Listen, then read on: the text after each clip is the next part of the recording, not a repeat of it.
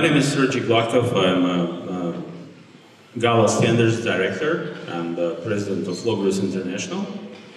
And today uh, I would like to, to make a presentation, uh, well, I hope uh, to make it in 10 minutes, about, uh, about connection between the industry, the Gala, and the Meta Initiative. GALA is a Globalization and Localization Association. It has about 300 members worldwide, and 170 uh, from them are European companies, which is 55% uh, of GALA membership. The GALA European members are located in 32 European countries. I would say that these companies are most active uh, companies uh, in language technology now. And they comprise the nice mix of uh, LSPs, language uh, service providers, technology companies, and clients as well. And the important thing to, to, to point out here is that uh, uh, the association is funded by membership. And of course, the goal is to promote the industry so that the ship rises all, the tide rises all the ship, uh, uh, ships. And also, of course, the goal is to promote the competitiveness of the membership. So uh, this, I think, goes in line with the, uh, with the direction which has been mentioned today. One of the goals of GALA is to promote its members and to increase their competition, uh, the competitiveness. Now, uh, the, the situation that we have in the language industry now is very fragmented. Now, that, this is a drawing which I basically scanned from one of my colleagues uh, preparing this presentation, which depicts the technological and informational uh, configuration that uh, language service providers and clients are facing these days.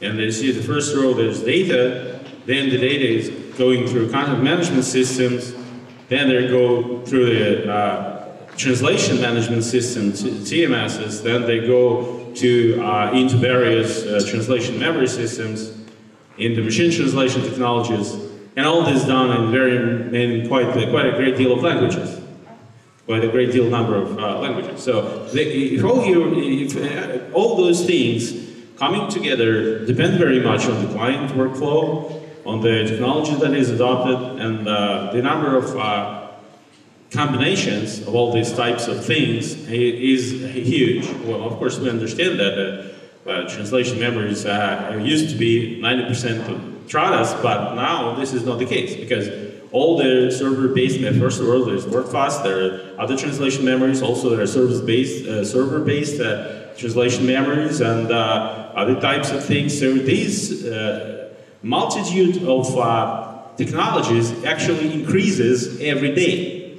And um, uh, well, what, comes into uh, what comes to here uh, when, when I think about it is the zoo uh, of various things that language service providers and clients have to deal with. And all this uh, variety um, is uh, creating a lot of friction actually in the industry from a practical point of view. The process friction is very high and it only seems to be getting worse. Machine translation technology is actually not ready for massive deployment, which requires technological level beyond most of the production capabilities of LSPs and clients too, because I don't think that all the clients are implementing it consciously and, uh, well, very smartly. Uh, uh, there are cases when it's, uh, been actually implemented wisely.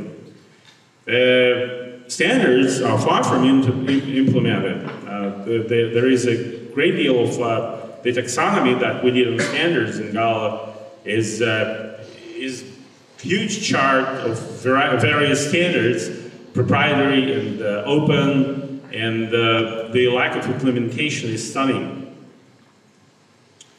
The clients, however, demand price level uh, as if uh, high, high quality machine translation is already real. In uh, LSPs and the industry is forced to juggle with skills and tools that have no relations to translation as such, to the language and subject matter expertise knowledge. No unified technological platform exists. Technical overhead is very high. Skilled translators and project managers spend time in operations which are not paid for by the clients. That creates a lot of uh, problems internally because uh, not all, not, not all the, we are not lawyers. Not all our time is, is, is billed, right? That uh, we don't charge for opening letters. We, we open them for free, and uh, but some, some, some, some, somebody has to absorb the cost. And the, the, the entrepreneurs are absorbing, absorbing this cost, and industry suffers. Data content creation process lacks understanding of localization needs. In, intrinsically, this is a huge problem because content creators, they basically uh, are either unaware or ignorant to the problems that are arise later in the supply chain. What happens is that when clients, when content creators create content, they, they do not supply it with adequate uh, uh, information. And uh, this content uh, then is passed with friction through the supply chain. People are guessing what is the content. So that, that's why the context creation layer projects are sort of uh, very promising for real production. The lack of rich metadata uh, actually uh, is a big problem production-wise. So LSPs here, uh, trying to be competitive and trying to survive in a stormy ocean of uh, incompatible technologies and trying to swim with whatever tools they are within their reach. And the most advanced, of course, uh, develop their own technologies. So here uh, we basically I, I, issued a call for uh, slides in Gala, and I have some uh, some slides here. They from Gala members who basically were kind enough to provide their slide and their technology. Well, Kilgray sent a slide uh, about the memoQ uh, technology, which is getting more and more interesting and popular. Uh, increasingly, uh, they, they, they, have a quite a, a, nice array of tools, which is they believe uh, suits the client needs well. The Lucy software has a, a stunning example of uh, the uh, Basque machine translation case, which actually in, resulted in increased competitiveness of the their client, uh, La Vanguardia magazine, which basically uh, on the market where other newspapers in Spain uh, decrease in uh, circulation, their circulation increased and 4% uh, of copies and 7% of readers. It's a real example of high quality machine translation in real time. Very stunning. Um, uh, of course, it's rule based. Uh, that's why it has a certain, mm, let's see, difficulties in implementing language-wise other languages, but the hybrid technology is also coming to their technology. Text&Form uh, has been uh, very active in uh, terminology focus. They have a stunning uh, internal uh, system which is based on um, extensive terminology work and they have a glossary that they use to their clients to, to basically promote the knowledge and terminology. Um, well, Systran is also a Gala uh, member. They have uh, well, very famous uh, machine translation technology, which uh, has its own hybrid engine and uh, training server and extensive capabilities. Well, we, in, in my company, we also done certain translation, machine translation, TM++ and T Workflow Center. So uh, how do we make sure that those and other shining variety of nuts and bolts will not turn into rust, uh, but uh, will be used to build certain uh, nice thing for the future that flies. So uh, the vision that, uh, uh, that we have is that we need removal of duplication of effort that uh, will engage the most advanced ideas of today. And of course, cloud thing comes here into the picture. Uh, with so many various uh, technologies, clearly there is a big and concrete need for innovative language technologies. Uh, we need um, serious uh, investment of effort into the translation technology of the future and collaboration. And I would say that, uh, well, of course, as uh, Gala Standards Director, I would say that standardization and interoperability are key.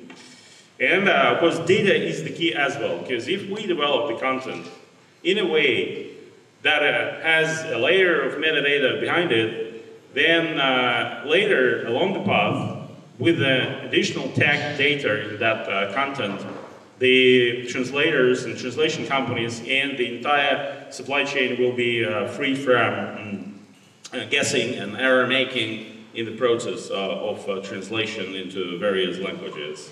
So uh, uh, here LTWeb comes into the picture, but uh, we need more than that. We just need more than a couple of do not translate tags. We need a rich metadata, me metadata layer to supply this content so that it goes smoothly into the production. So um, I see that the MetaNet is an attempt to bring together a fragmented field, including researchers, language community, language professionals, LSPs, translators, funding agencies, and uh, uh, perhaps even politicians would make some, some funding decisions under the umbrella of, uh, of Meta to promote the vision of the future. And uh, Gala is an organization of uh, uh LSPs, practical industry organization of the majority of European membership, will bring the knowledge of the real industry, that's practical problems and needs, and will help to identify research themes and how, to, how to move it forward. And the LSP is actually the source of information about real production problems, what metadata is required, for example, exactly what information is needed, what standards are actually required, and how this uh, um, can be done into the future. So there's non-proprietary technology platform for productive engagement. And also, we have, uh, uh, uh I, I, think that Gala has a nice example of a nice experience of cooperation. Uh, so we have so, sort of uh, some experience of collaboration, which we're going to bring to the table and all this, uh, you know, brainstorming effort around the rail industry to, to, to achieve those goals. So this is it, and uh, I'll thank you for your attention. I only uh, two minutes.